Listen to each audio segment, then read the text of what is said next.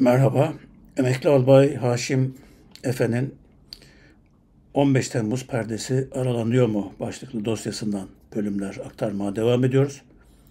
Bu yayınımızda Harbiye'de o gece olanlarla ilgili bölümden bazı kısımları paylaşacağız.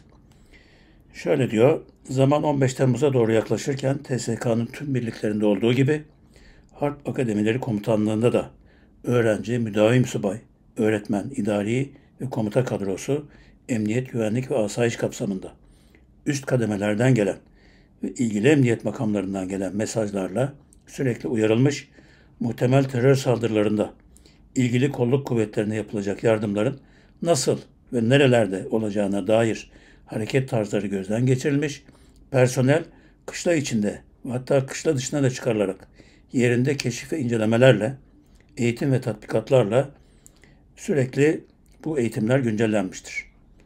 Bu süreçte İstanbul ve Ankara gibi büyük şehirlerde ve Türkiye genelinde yaşanan terör faaliyetleri ve bunlara dair e, haberler iletişim kanallarından yoğun şekilde personele aktarılırken akademi kışlası içinden alt geçit köprü olarak geçen D100 ana yolunda akademinin emniyet tellerinde bomba patlatıldığı haberi yer almıştır. Akademi nizamiyesi önünde sarı taksi içinden gözetleme yapıldığı ve yakalanan şahsın üzerinden akademi krokisinin çıktığı ve daha buna benzer birçok olaya ait personeli yakından ilgilendiren ihbarlar, kışla sabotajlara karşı koyma mangası ve ani müdahale mangası ile arama tarama faaliyetlerinin her zamankinden daha fazla yapılmasına sebep olmuştur. Ayrıca Hava Harp Akademisi binasının D100 yolu tünel girişine yakın olması ve söz konusu ana yola bakan pencere perdelerinin dışarıdan yapılacak herhangi bir saldırıda içeridekilerin zarar görebileceği, camlarının kırılabileceği ihtimali ve kırık camların içeridekilere zarar vermemesi amacıyla sürekli o perdeler kapalı tutulmuştur. Bu tür tedbirler ve gelişmeler harp akademilerinin kadrolu subay asubayları ile öğrenim gören öğrenci subaylarının terör faaliyetlerine karşı hassasiyetlerinin sürekli canlı tutulmasına sebep olduğu ve sanıkların hazırlık soruşturmasında ve mahkeme duruşmalarında verdikleri ifadelerden bu hassasiyetin ciddi anlamda yaşandığı anlaşılmaktadır. Darbe teşebbüsünün yapıldığı gün diğer tüm askeri birliklerde olduğu gibi harp akademilerinde görevli tüm öğretim ve idari kadrolu personelle subay öğrenciler izah edilen terör ve terörle ilişkili muhtemel olaylara karşı yüksek duyarlılık içerisinde bulundukları bir atmosferdeydiler. 15 Temmuz 2016 günü akşamının geceye doğru ilerleyen saatlerinde Genelkurmay Başkanlığından gelen mesajlarda ülke genelinde kamu kurumlarına karşı bir terör saldırısı var. Kamu kurumlarına yardım edeceğiz içerikli mesajlar gelmeye başlamıştı. Bunlarla birlikte Genelkurmay'dan harp akademilerinin terör saldırılarına karşı koordinasyonunu sağlamak üzere görevlendirildiklerini söyleyen albay yarbay rütbesine haiz 2-3 kişinin ismi geçmektedir. Bu kişiler akademilerin öğrenci amirleriyle temasa geçerek öğretim elemanlarının ve bir kısım öğrencilerin kamu kurumlarına ve diğer askeri birliklere yardım etmesini sağlamak için girişimlerde bulundular. Bu amaçla akademide görevli yarbay binbaşı rütbelerinde genellikle öğretim görevlisi bir subayın emrine 3-4 öğrenci verilerek İstanbul'daki askeri birliklere ve muhtelif kamu kurumlarına yardım etmek üzere kışla dışına görevlendirmeler yapılmıştır. Kara Harp Akademisi öğrencilerinin önemli bir kısmı kendilerine yapılan görev tebliğleriyle birlikte İstanbul'da konuşlu birliklerin emrine girmek üzere akademiden ayrılmış, kalan öğrenciler ise gelişmeleri gazinolarında TV seyrederek takip etmişler. Hava Harp Akademisi öğrencileri ise öğretim başkanı albayın emri ve birinci ikinci sınıf kıdemlilerinin WhatsApp grubundan çağrı planının devrede olduğunu ve yoklama alınacağını ve ivedi olarak okul kampüsünde bulunmaları gerektiğine dair mesaja istinaden 23'ten itibaren sınıflarında toplanmaya başlamıştır. Devam eden süreçte bir albay, başka bir albayın katkıları ile akademi öğrencilerinin bir kısmını üçer dörder kişilik gruplar halinde başlarında öğretim üyesi ve daha kıdemli yarbay binbaşı rütbesinde subayların emrine vererek İstanbul'un çeşitli yerlerindeki kamu kuruluşlarının güvenliğini sağlamak gerekçesiyle görevlendirmeler yapmış.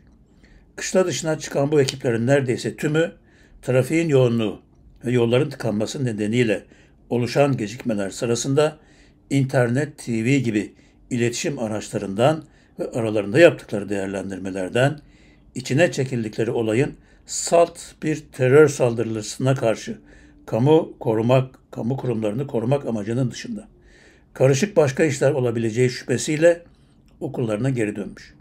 Dönemeyenler de bulundukları yerlerdeki askeri birlik, ordu evi gibi sosyal tesislere sığınmışlardır. Duruşmalardaki ifadelerinden anlaşılmaktadır bu.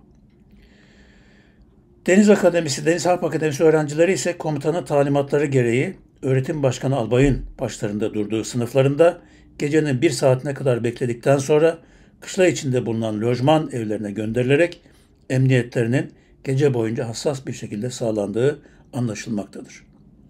Deniz Harp Okulu yönetimi bu noktada daha farklı hareket etmiş. Ve 16 Temmuz sabahı saat 6.30 gibi okulda bulunan tüm öğrenciler okul idarecileri tarafından evlerine gönderilmiştir. Devam eden saatlerde diğer gelişmeler yaşanmış ve geceden itibaren fiili otorite sağlayan o söz konusu albaylar harp akademilerinin tüm idaresinde etkilerini artırıp akademi komutanını dahi etkisiz hale getiren bir etkiyle okulun ve okuldaki tüm personelin darbeyle ilişkileriyle istedikleri gibi şekillendirebildikleri bir inisiyatif ve güç kazandıkları anlaşılmaktadır. Ve 16 Temmuz'dan itibaren henüz okulda ne olup ne olmadığı belli değilken, okul kendi idari tahkikatını dahi yapmamışken, söz konusu albayların fiili irade ve inisiyatifleriyle okul komutanı ve okul idaresini de etkileyerek Hava Harp Akademisi öğrencilerinin önemli bir kısmını darbeci ithamıyla Beşiktaş Emniyet Müdürlüğü polis karakolundan ısrarla çağırtarak getirdikleri polis minibüsleriyle Vatan Emniyet Müdürlüğü'ne sevk edip teslim etmişler. Ve müteakip günlerde de bu teslim işlemine peyderpey devam etmişler. Polisler bu albaylarla ilgili serzenişlerini o zaman uygulamanın yanlış olduğunu, kendilerinin savcılık tahkikatına ve emrine göre veya kendi amirlerinin emirlerine göre hareket edebileceklerini belirttikleri ancak albayların psikolojik ve fiili baskılarına karşı fazla direnemedikleri görülmüş.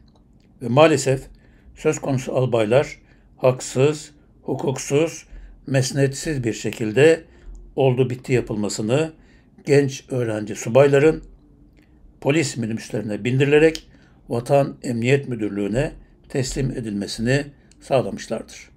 Sonrasında savcılık sorguları, işte mahkemeye çıkarılma, tutuklama, yargılama ve mahkumiyet kararları onlarla ilgili safahatı da ayrı bir yayın konusu olarak yine Haşim Bey'in dosyasından aktarmaya çalışalım.